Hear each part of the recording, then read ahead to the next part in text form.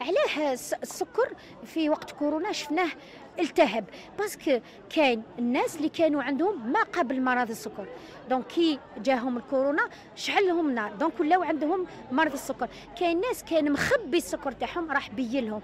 وكان الناس اللي اللي خفناهم هذا اللي ما كانوش عرفوا بلي عندهم مرض السكر هادوك اللي كانوا في خطورة أكثر من الناس اللي كانوا يتبعوا اللي بغات عندهم 20 سنة مرض السكر مرضوا كورونا وما ماتوش. c'est هذاك اللي يشعل له ال diabète خطر بالك هذاك الإنسان عمره ما دار les analyses وما يديرش les analyses لا نو- نوصي الناس اللي راهم في فئة آه، معرضه لمرض السكر. كي عندهم في الوراثة آه، الوراثة تاعهم اللي عندهم مرض السكر ولا عندهم آه، عندهم السمنة عندهم المرأة اللي ولدت déjà طفل سمين أكثر من 4 كيلو ولا المرأة اللي دارت مرض السكر في الحمل. هادو فئة معرضه لمرض السكر. ولا الناس اللي عندهم la tension الناس اللي عندهم شحم في الدم هذه كامل فئة. كل عام لازم يديروا التعيار. بصح التعيار كيف يديروا؟ يديروا التعيار تاع السكر. لازم يقعدوا 8 سوايع ما ياكلوا والو. بصح ما يديروش الريجيم آه، العشية تاع ال- ال- ال analyses تاعهم. parce que بزاف الناس يكلخوا روحهم. واش يديروا؟ مولف يشربوا كاس غازوز ياكلوا كاطو يو ثلاث أيام قبل ما ياكلوش الحلو parce que عندهم les analyses. وراهم يخدعوا روحهم parce que يقدر يخرج les analyses ملاح وهو راهو السكر مخبي. لازم ياكلوا باش يبان داك السكر.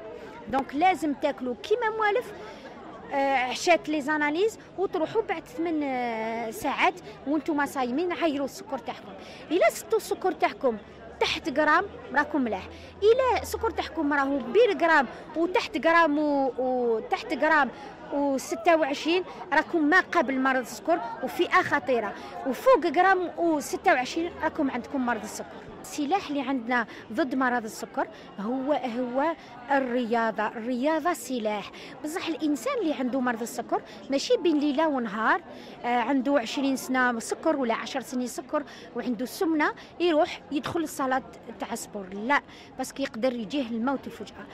n'importe quel malade يعني فوق 50 سنة ولا السكر تاعو قديم يروح لعند الطبيب تاع القلب يدير له ECG مع هذاك الخطوط تاع l'ECG مور l'ECG يشوف له قلبه l'échographie باش نشوف إلا ما واش منفخ قلبه كي يصيبو مليح يقدر يعطي له l'autorisation هذا المريض اللي عمره ما دار رياضة تدريجيا يسموه step by step لازم d'abord يبدأ يمشى يمشي يلبس صباط تاع يعني ماشي مضيق صباط تاع الرياضة يروح يبدأ يمشي برك.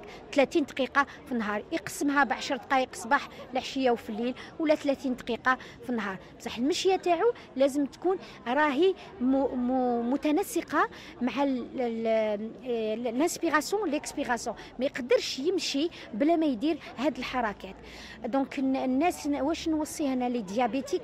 ما كاش كيما الرياضة.